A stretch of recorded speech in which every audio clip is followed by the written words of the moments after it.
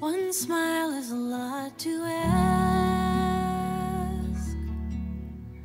from a city known for class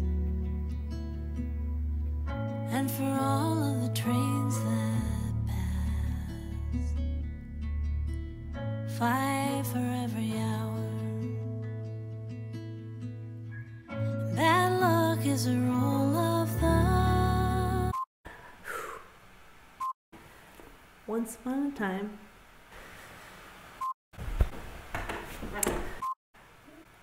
I made a record and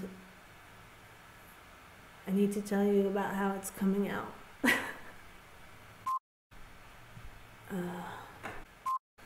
nobody wants to hear about this. Once upon a time, it was 2018. What a year, am I right? I made a record. Is that what you mean?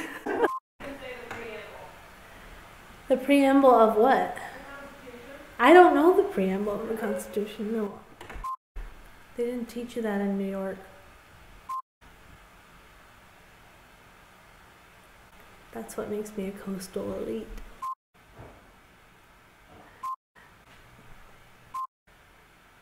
There I was.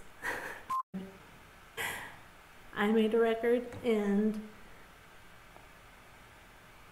that's it. And uh, it's similar to all the other people who say that they made a record. Ugh.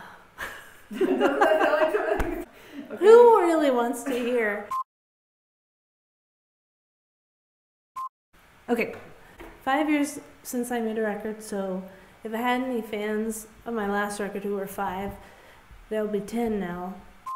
I don't know if they're still fans, but if they are, I have a new record I made in Nashville at Moxie, and you can buy it soon.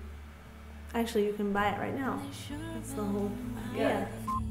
So you can go on there and you can look at the different levels of stuff you can buy. You can just buy the CD, or you can buy the special version of the CD where we have alternate versions of all the songs on the regular CD. If you're into that kind of thing, you can. Uh,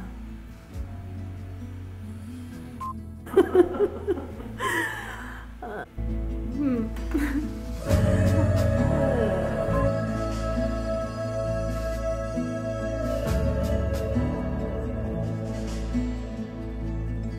I can feel people dropping like flies right now. I'm losing fans stay we